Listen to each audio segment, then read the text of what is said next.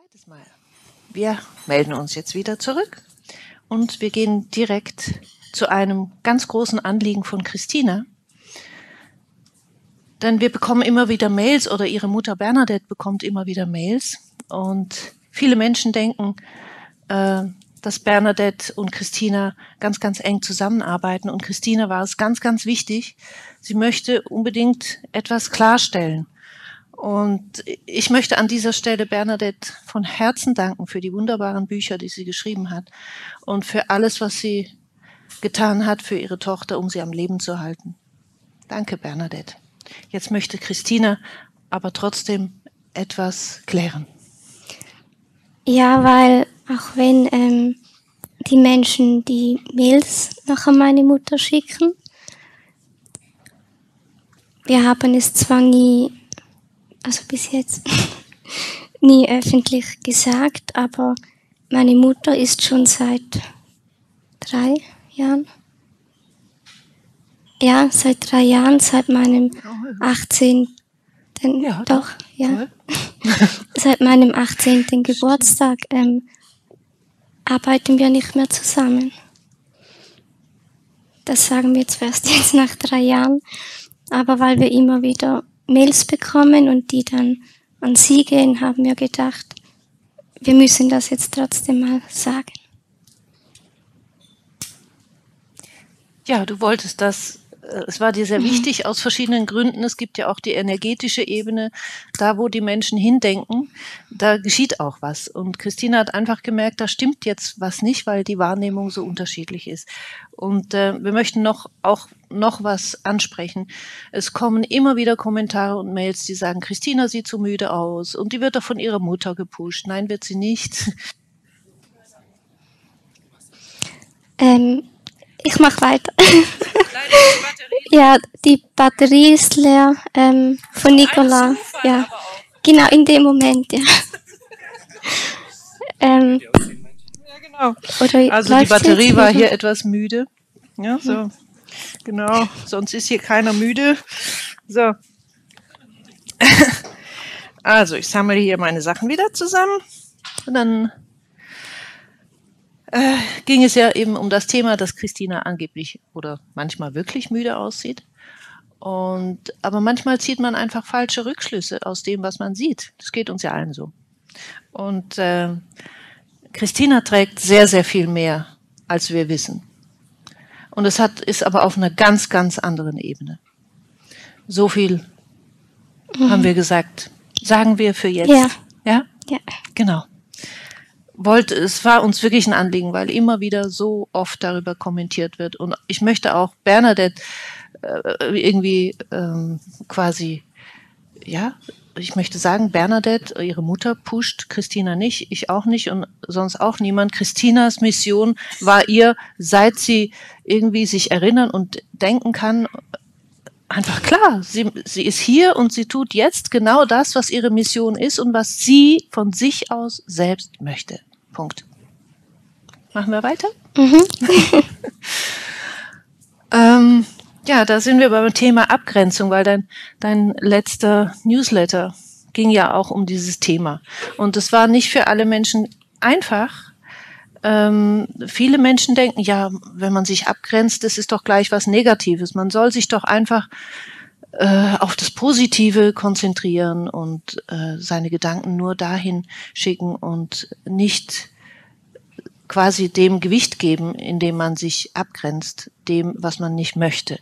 Das ist für viele ein ganz, ganz schwieriges Thema. Christina, möchtest du zu diesem Thema noch was präzisieren? Also, wenn wir nichts in unserem Leben haben, was nicht gut für uns ist, dann müssen wir uns ja nicht abgrenzen, weil es ist ja gut, was da ist. Aber wenn wir etwas haben, wo wir merken, das stimmt so nicht und ähm, das tut mir nicht gut, dann müssen wir uns ja abgrenzen und sagen, dass das so nicht funktioniert. Und wenn wir dann das Wort Nein verwenden, ist das eben eine gute Abgrenzung. Und das Wort Nein an sich, das ist ja nicht was ähm, Schlimmes, sondern das ist ja neutral. Und je nachdem, wie wir es halt einsetzen, entsteht daraus was anderes. Also wenn wir Nein sagen zu etwas Gutem, dann ist es ein Nachteil für uns. Aber wenn wir Nein sagen zu etwas, was nicht gut für uns ist, dann tut uns das gut. Und es kommt auch darauf an, mit welcher Energie wir Nein sagen. Wir können uns ja aus Angst vor etwas abgrenzen. Oder wir können uns vor etwas abgrenzen, weil wir wissen, mir geht es dann besser.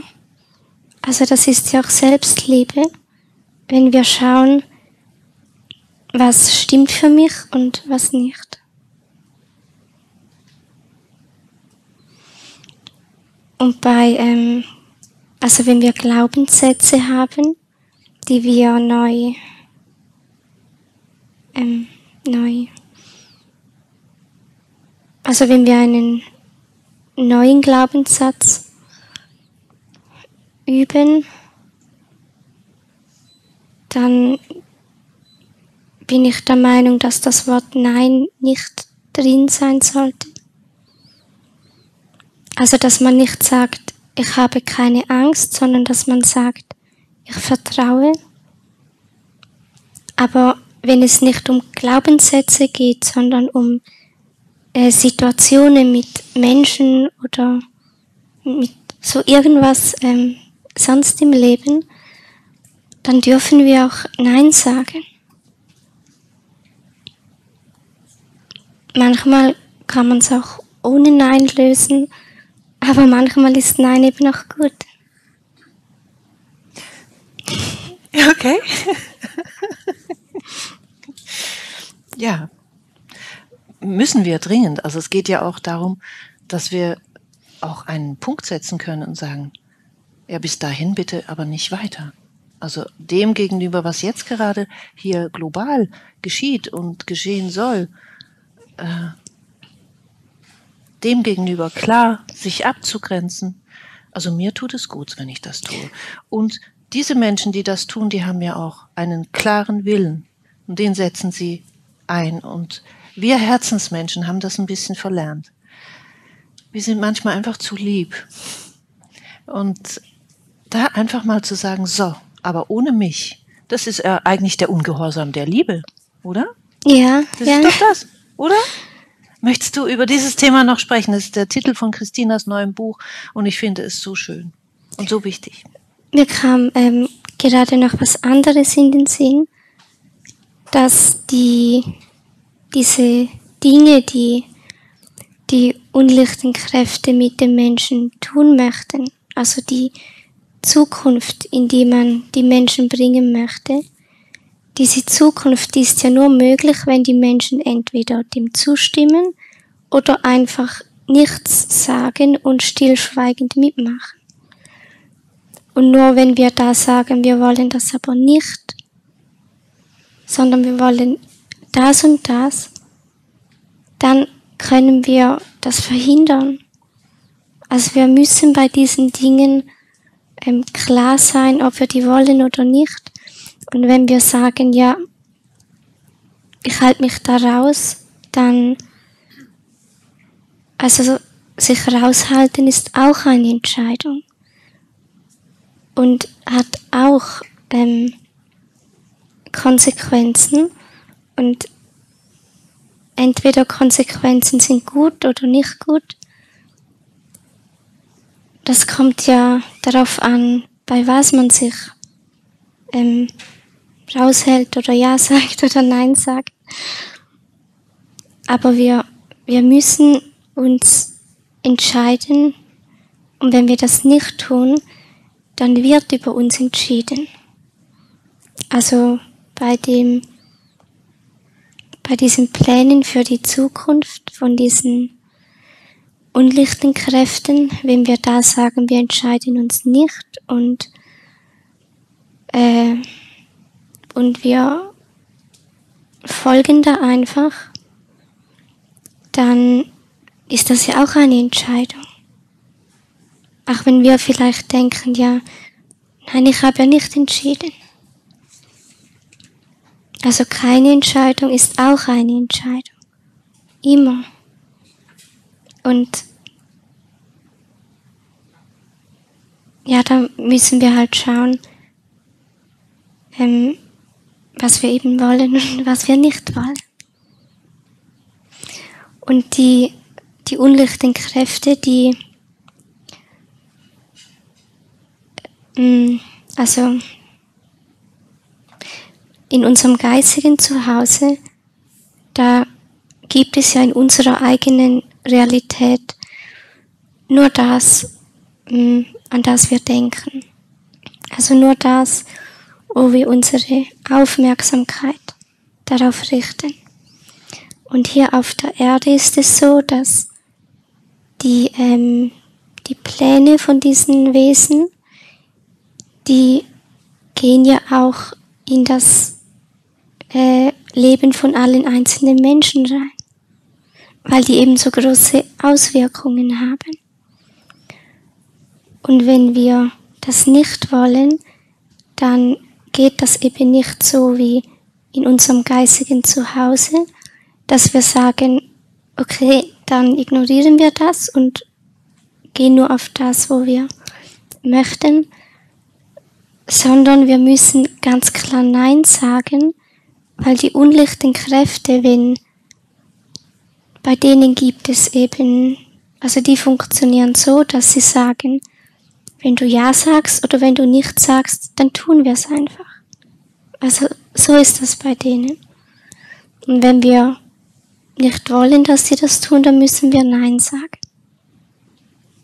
Darum müssen wir uns da entscheiden und können nicht einfach sagen, ich entscheide da nichts. Und das bedeutet auch, dass wir das auch ganz still für uns auf dem Sofa zu Hause, aber ein, ein, ein Nein mit, mit einer Gefühlsladung. Ja, also hm? wir müssen überhaupt nicht irgendwo auf die Straße stehen, aber es muss für uns selbst, muss das klar sein und wir müssen auch bereit sein, danach zu handeln. Also es kann nicht sein, dass wir im Wohnzimmer sitzen und sagen, nein, das will ich nicht und dann rausgehen und trotzdem alles mitmachen.